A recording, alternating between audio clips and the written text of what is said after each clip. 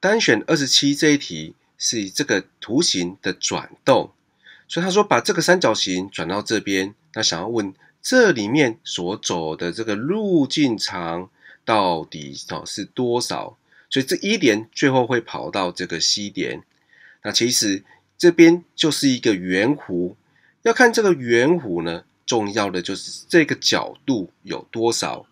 那这个半圆的角度是一百八，这里是六十，所以这里是三十，所以它其实总共绕了两百一十度。两百一十度的话，其实等于是整整个圆周的三百六十分之两百一。那我们除掉这个三十，这到七，这是十二，所以是占了圆周的十二分之七。那现在半径为六，所以周长呢是六乘上二拍。好，那这占了这个十二分之七，所以我们这样子乘出来，就得到这个圆弧长是七拍。所以这边重点就是你要去看出来，哎，这里移动这个角度呢，就是跟这个圆心角有关。另外就是算出它的比例，就可以算出这个圆弧长。